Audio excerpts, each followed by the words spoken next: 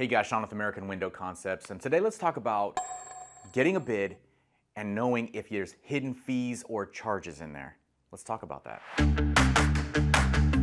Not every person is going to come over and give an estimate and have everything extremely detailed. When I go to a house and we're going to offer a bid to you, everything is spelled out line for line. What's the size of the window? what type of window is it? What is all included in that window? And then you get to the bottom, you start talking about labors, hallways, trim, caulking, anything that's going to make it so that way we can install these windows for you the right way. There are many different places that'll walk in and give you a handwritten or a quote.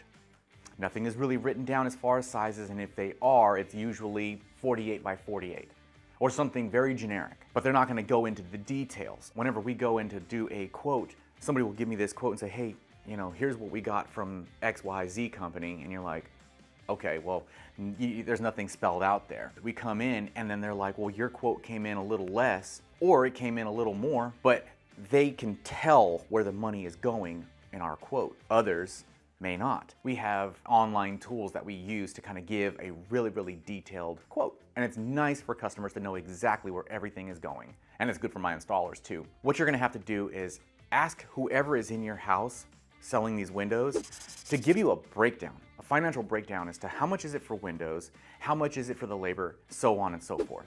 If they're reluctant to give you that information, what does that tell you? A lot of times they'll say, oh, if you do 10 windows, it's free install. Nothing is free. Sorry, nothing is free. It's just a gimmick. It's a way to say, well, you know, if you get 10 windows, we can give you a free install. But if you do nine or you do eight or whatever, maybe we can't give you that, that free install, but it's a way to kind of push you. Nothing is free. I will tell you, I'm not gonna install windows in your house for free. No good for me, it's no good for a business. Ask questions to the people who are giving you quotes. Ask questions, always. And if they don't wanna do all of that, who knows? Maybe maybe they're just trying to hide things or they're like they got it really ballooned and they're doing whatever they can to protect that. A lot of information. Hopefully this helps. Make it a great day.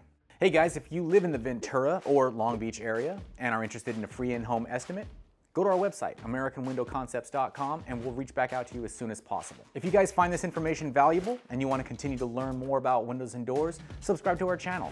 Thank you so much.